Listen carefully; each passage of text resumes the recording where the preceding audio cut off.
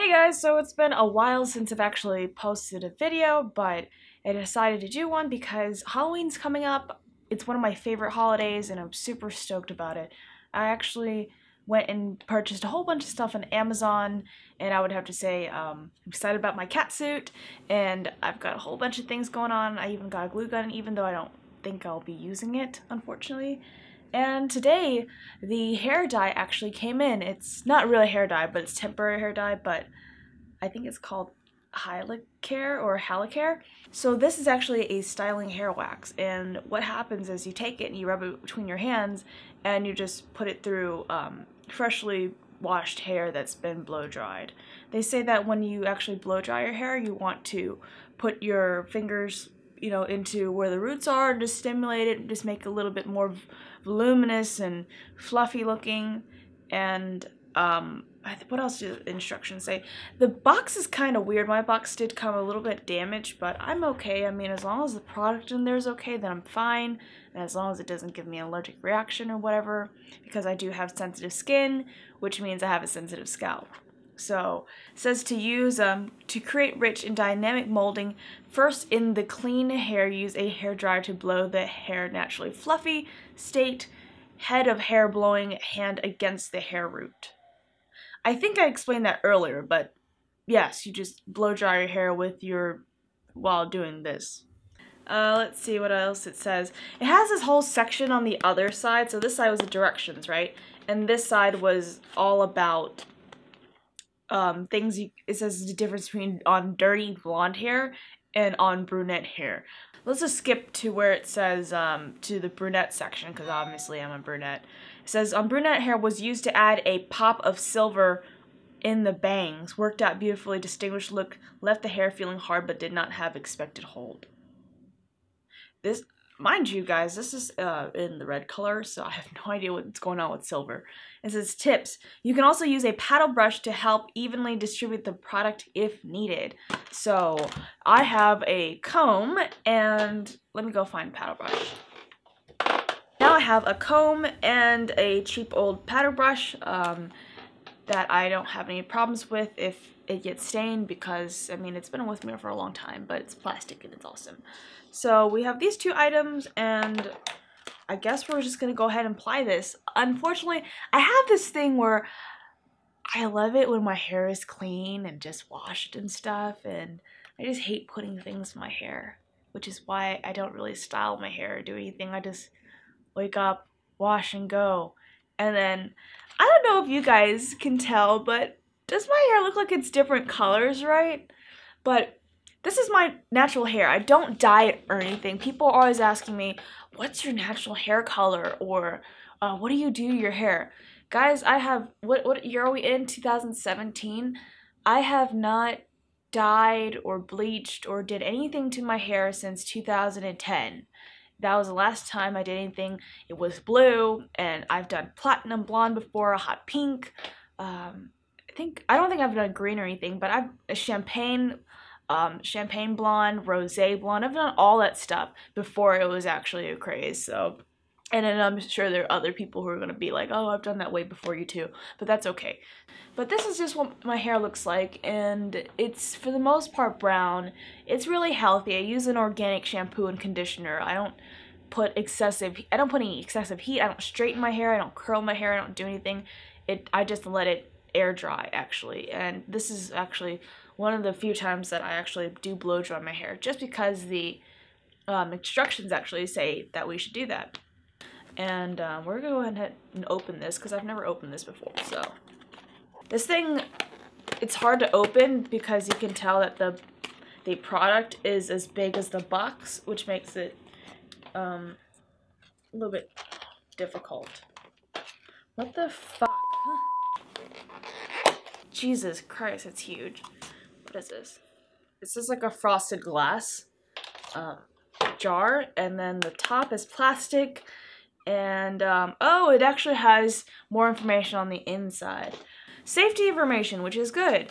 Accidental contact with the eyes. If the hair wax gets into your eyes, do not rub your eye. Immediately flush it with clear, warm, lukewarm water. Avoid flushing with excessively strong running water.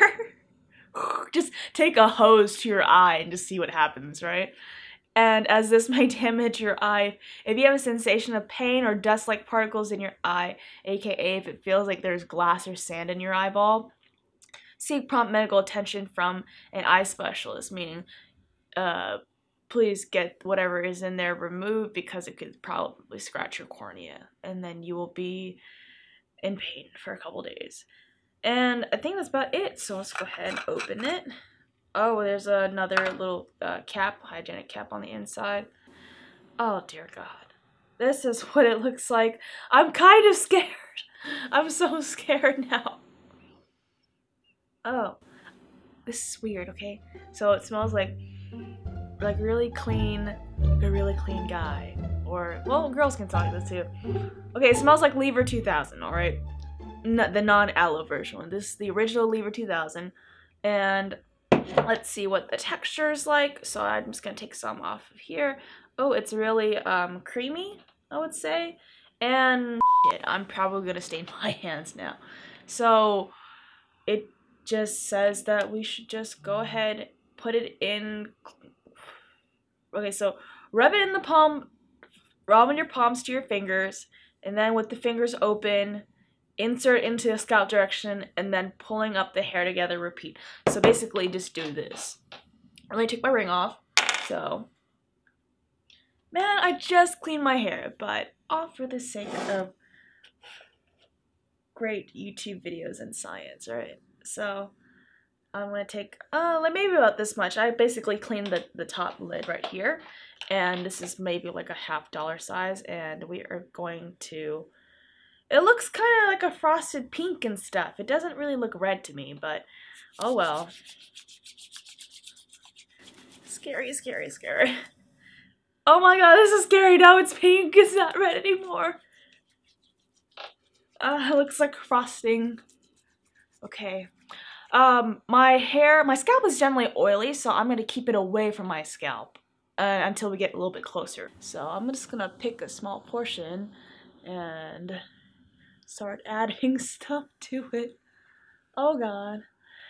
I mean, I've watched some videos and that's just what people were doing. They're just taking it and adding it on. And my god, I think my hands are metallic and they're probably stained. Oh my god, my hands are stained. No. God. But oh yeah, I forgot to tell you guys, this is actually for my costume. So I'm supposed to, instead of going the wig route, I decided I would just use this and, and um, hopefully get my hair a little bit redder. I used to have red hair though, but like when I was dying a long time ago, but not anymore.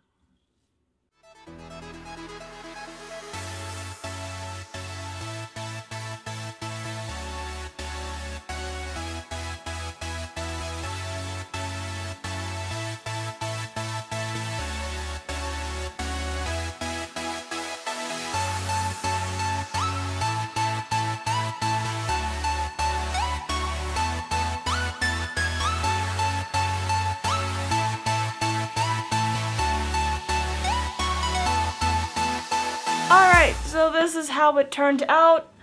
I mean, I'm honestly going to say that I was looking at my viewfinder the whole time for reference as to what I was doing, and probably if I was in front of my sink or if I'm probably going to go onto Amazon and look for some more tools onto how to actually use this properly, then I would probably know exactly what to do with this, but it looks okay. It's a little swatchy, but like I said, right tools, and if we're not doing like a first impression thing, like if I just get the hang of this, I'll probably be able to use it.